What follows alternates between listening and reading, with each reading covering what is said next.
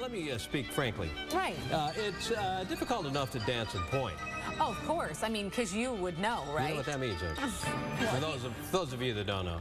Uh, it says uh, ballet speak for dance There you go. Those are pointe toes. shoes right yeah, there. Yeah, yeah, yeah, yeah. Okay, after the break, we're going to be live with uh, an Arizona circus family. This is their feature act. Okay, look at this dancer. She is on pointe shoes, mm. on a wire, walking.